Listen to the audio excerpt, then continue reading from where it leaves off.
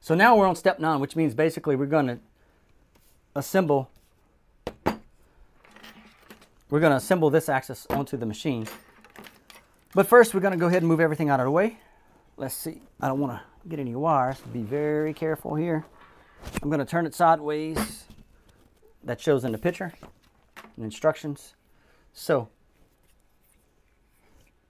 the extruder I know is going to face this way. The wires are going to be to the back. And they're saying we need some more parts. So it looks like the filament holder, which is this piece. That's cool, whatever. I'll get that in a second.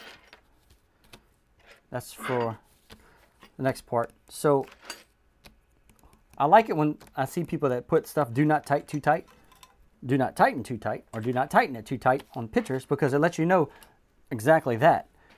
Too many times have I done things or have I put something together and you put it all tight just to find out later you need to loosen it and go back and waste time because the instructor instructions or the manufacturer didn't tell you. Just leave it loose for now so you get everything right. So we're going to have to mount this onto the z-axis. And the way we're going to do that is line up the aluminum extrusions inside the rollers here. So these aluminum extrusions are going to fit here and the same in the front. And I'll slide this back so we can see what we're doing.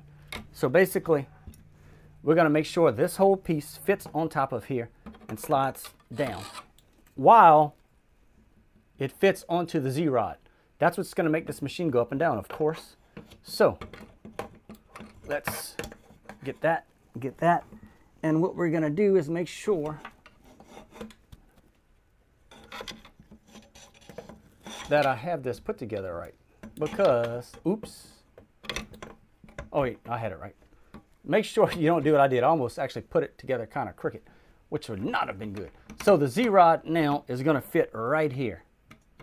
So as you can see, this roller is over here on that side, and on this side is kind of how it fits down. And the Z-Rod is actually going to fit through this piece. And let's see if it'll kind of go in there. All right, make sure everything is not, nothing's catching, nothing's lined up or binding when you're doing stuff like this. And I may actually have to loosen that Z because it looks like I have something a little bit off. So let's see.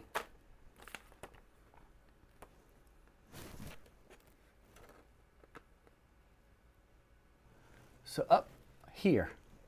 So the instructions are telling us by the extruder, which is this nut that's by the extruder plug, which is for the Z. It's a Z nut to catch this rod. It needs to be loosened a little bit. So I'm going to loosen it just a little bit because I'm having a little bit of an issue lining it up. Let's see. There we go. Just a little bit. And I'm just going to put this back. I am not over tightening this at all. What I'm doing here is tightening these bolts just, I mean barely. I don't want to make it go too much because what's going to happen is you're going to have this thing binding all crazy. So I want to make sure this part over here is lined up properly also while this goes down. And if you're having an issue like this, you see where this was actually binding, then something wasn't right. So make sure you line it up properly because when this goes up and down, it's really important for your Z. This is where you're going to get a lot of your Z-axis precision. If this is crooked or binding, your prints are going to come out pretty junky. It's always good when you're building a machine to make sure that while you're building it, everything is square, everything is right. And, you know, if you need to at this time to adjust some screws, adjust some bolts, go ahead and do that. So this is on there pretty good. We're to move to the next step.